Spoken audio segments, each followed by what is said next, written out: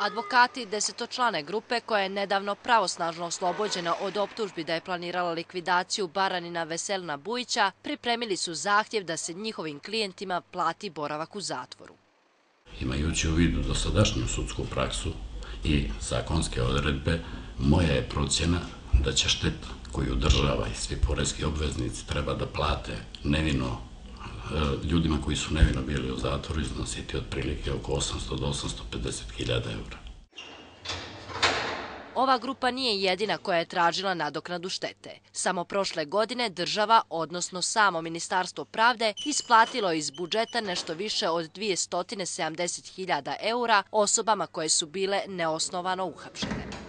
Do 10. novembra ove godine iz državne kase otišlo je skoro 130.000. Ove godine porastao je i broj zahtjeva za isplatu, pa se do danas javilo 188 slučajeva. Najveći iznos materijalne štete koji se isplaćuje od strane crnogorskog pravosuđa licima koja su bila nevino u zatvoru u istrazi se odnosi na predmet organizovanog kriminala koji su pokrenuti od strane ranijeg specijalnog tuživca a onda nezaobilazno pitanje ko je kriv što se osobe drže u pritvoru bez osnova i dokaza.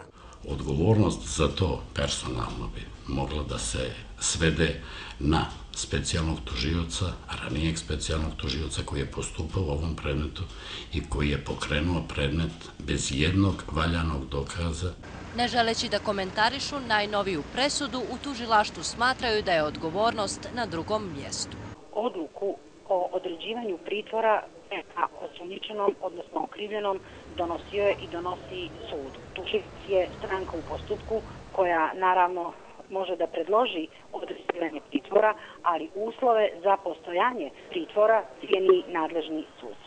Boravak u zatvoru koji nadoknađuje Ministarstvo pravde po mjesecu je 1500 do 2000 eura. Ako strana nije zadovoljna nagodbom, može se obratiti sudu i dobija duplo više. Iz kabineta predsjednice Vrhovnog suda Crne Gore nije smo dobili odgovor da li su crnogorske sudije na bilo koji način odgovorne što uopšte dolazi do ovakvih zahtjeva, imajući u vidu da po zakonu upravo sudije donose odluku o pritvoru.